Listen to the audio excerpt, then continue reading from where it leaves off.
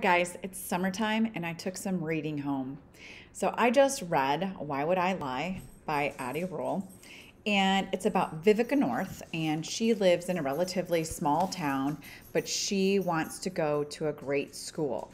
The trick is she's number one valedictorian, and that means like she's super smart and gets all of her stuff done. Um, but I'm not sure how much social skill she has. She has a best friend, um, and she lives with her dad. Her mom is no longer with them.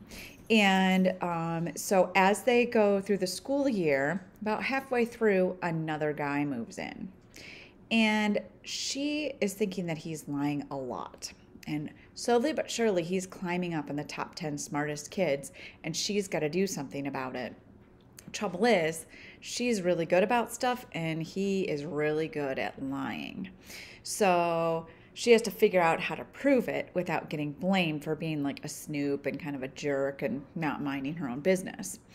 She's also struggling with at home. Her dad has a girlfriend, and um, she's trying to figure out how to manage their money and how she's going to be able to go to this school once she gets in. And she's applied, and now she says she's valedictorian, but this lying boy is now catching up and he actually passes her for number one on the list of the top 10 and she's starting to freak out so it's a trick. It's kind of an adventure story and it's really interesting from her point of view about what is going to happen and how she's going to catch this guy in his lies.